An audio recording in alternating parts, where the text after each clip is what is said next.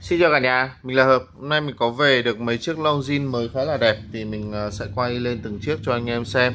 À, đầu tiên thì mình à, muốn à, giới thiệu đến cho anh em đó là một chiếc uh, Longines uh, như các bạn thấy ở đây thì uh, chúng ta sẽ có Longines Master Collection. À, chiếc này thì đi kèm nó là nó là một chiếc mới 100% anh em nhé. Mình sẽ mở ra cùng cho anh em xem. À, ở phía trong thì chúng ta sẽ có đó là một chiếc uh, Longines Master Collection cùng với đó là một cái thẻ thẻ của đây là thẻ mua tại sân bay Aki International tại Nhật. Đó và chúng ta sẽ có chiếc đồng hồ đây luôn. À, chiếc này thì có size là 38.5 anh em nhé cho nên là nó sẽ phù hợp với tay anh em khoảng tầm 15.5 15 cho đến 17 thì chúng ta đeo thoải mái. À, với dòng Master Collection thì chúng ta sẽ có một cái thiết kế tổng thể giống như là à, các bạn à, có thể dễ dàng ờ, bắt gặp nhất à, dòng Master Collection này thì khá là được ưa chuộng tại Việt Nam. Chúng ta sẽ có một cái, cái, cái thân đặc trưng của dòng này và bộ dây cũng rất là đặc trưng. À, chiếc này thì sẽ có cái giá tại Nhật là 381.000 yên chưa thuế. 381.000 một yên Nhật thì nó bằng khoảng tầm hơn 200 thì 30 380 mấy thì nó khoảng tầm loanh quanh khoảng tầm hơn 80 triệu uh, chiếc này.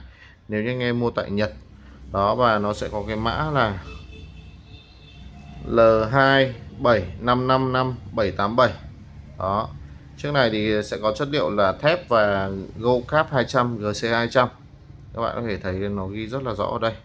Đó, khi các bạn mua thì bên mình sẽ ghi ngày và kích hoạt cái bảo hành toàn cầu 2 năm cho anh em. Thì với chiếc Master Collection này thì nó vẫn có những cái đặc trưng mà đã làm nên tên tuổi của dòng này. Thứ nhất là cái chất thép tuyệt vời, thứ hai nữa là cái thiết kế đẹp và thứ ba nữa là sợi dây là đeo rất là sướng tay. À, chiếc này có size 38.5 và mặt dial của nó thì sẽ có cái vân ờ, độc quyền của của dòng ờ, là Longines Master Collection. À, vân này giống như là vân vẩy nhìn khá là hay và ở phía ngoài này chúng ta sẽ có một cái vạch chia 60 phút được làm vắt chéo xuống từ cái mặt kính cho đến xuống cái phần mặt đây ở phía dưới. À, chiếc Master Collection này là một chiếc day date có hai lịch cho nên các bạn sẽ thấy ở góc 3 giờ chúng ta sẽ có hai lịch. Đó là lịch thứ và lịch ngày và nó hơi lẹm một chút vào cái con số 3 ở đây. À, à, với dòng collection Master Collection thì rất là nhiều mẫu được thiết kế với cái cọc số là Arabic để cho dễ nhìn. À, thực ra thì à, mọi người thích cọc số La Mã nhưng để mà dễ nhìn giờ nhất thì vẫn là cái cọc số Arabic này các bạn ạ.